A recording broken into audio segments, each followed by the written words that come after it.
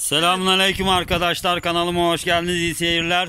Bugün Bursa Kestel Hakimin çiftliğindeyiz. Sağ olsun bizi tenekede tavuk yanmış. Lezzetine bakacağız bugün bakalım. Allah nasip ederse güzel görünüyorlar. Hepinize iyi seyirler diliyorum. Bugünlük de böyle değişiklik olsun dedik.